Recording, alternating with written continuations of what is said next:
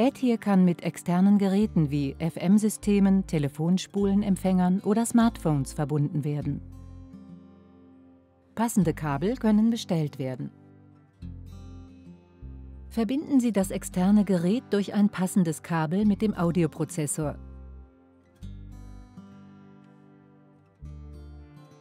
Achten Sie darauf, dass die Punkte auf dem Kabel und der Unterseite des Audioprozessors auf derselben Seite sind.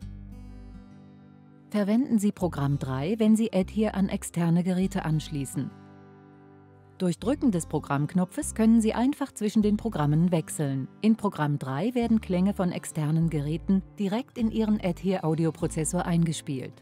Gleichzeitig können Sie auch Geräusche aus Ihrer Umgebung hören,